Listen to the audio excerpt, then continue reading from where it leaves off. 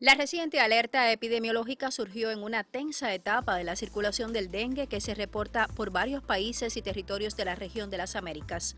De ahí que las organizaciones Panamericana y Mundial de la Salud notifiquen la presencia del virus Orof transmitido por picaduras de mosquitos como las especies Culicoides paraensis y Cules quinquefasciatus, los causantes de la fiebre oropuche que una década atrás solo se reportó en zonas de la Amazonía.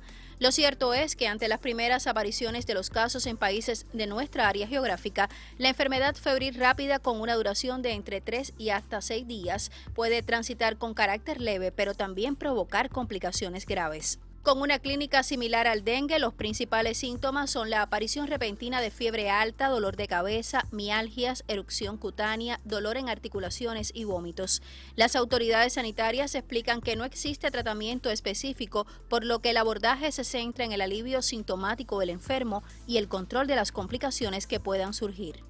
Los esfuerzos se centran en el ámbito de la prevención con el efectivo focal intra y extradomiciliario, tratamiento adulticida. De igual manera, se recomienda usar repelentes para insectos, así como el uso de mosquiteros. Infomed, la red de salud en Cuba, en su portal web advierte sobre varios aspectos de interés sobre la fiebre oropuche que usted puede consultar para afrontar este nuevo desafío epidemiológico. Mayelin del Sol, Notisur.